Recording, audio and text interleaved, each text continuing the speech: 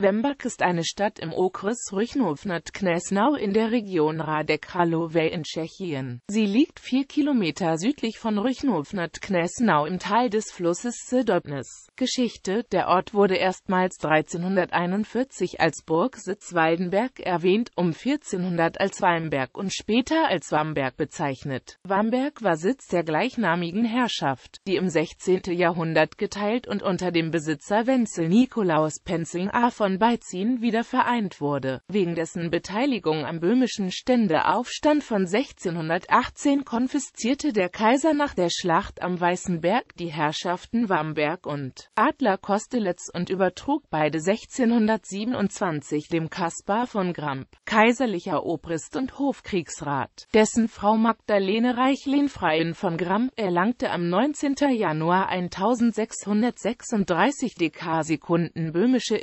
Sowie die Bestätigung des Freiherrnstandes. Sie war um die Verbesserung der Lebensbedingungen ihrer Untertanen bemüht. Schon 1637 hatte sie die Frondienste weitgehend aufgehoben. Zudem förderte sie das Klöppeln. Durch den nachfolgenden wirtschaftlichen Aufschwung wurde Wamberg in der zweiten Hälfte des 17. Jahrhunderts zum Marktort erhoben. Für 1654 ist eine jüdische Gemeinde nachgewiesen und für 1688 ein jüdischer Friedhof auf dem auch Juden aus den umliegenden Gemeinden Daudleb und Adler-Kostelec bestattet wurden. Im 18. und 19. Jahrhundert entwickelte sich in Wamberg die Textilindustrie, im 20. Jahrhundert kamen metallverarbeitende Betriebe hinzu. Die Einwohnerzahl nahm nur langsam zu 1826 waren es 1844 1900 3074 und 1980 5435 Einwohner. Sehenswürdigkeiten die barocke Dekanatskirche St. Prokop wurde 1707 bis 1713 errichtet.